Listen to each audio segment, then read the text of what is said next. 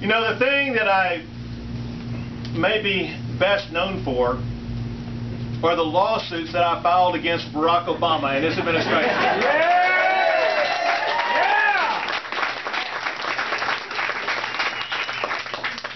I filed already 29 lawsuits against Barack Obama and his administration. Yeah. Oh. One of those was the challenge I waged against Obamacare.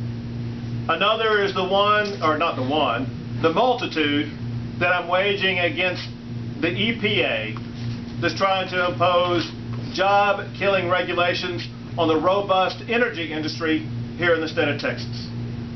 But the reason why I bring these up is because there is actually a common purpose behind the legal actions I'm waging against the Obama administration. I am trying to protect and help the working Texans on Main Street in this state from being crushed by an overreaching federal government. There's a problem that we're facing in America today.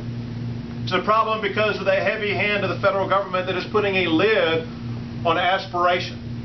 Whether it be the aspiration for small businesses to grow, an aspiration for a young college student who may want to go on and try to be a doctor, but realizes that the regulatory red tape really interrupts their ability to treat patients.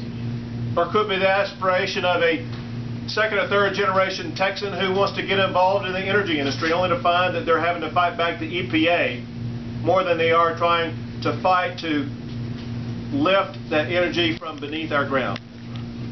But we are fighting for you, for the values of all of our fellow Texans, to ensure that we achieve one goal more than any other goal. And that is to keep Texas number one in the nation for job creation. Yeah.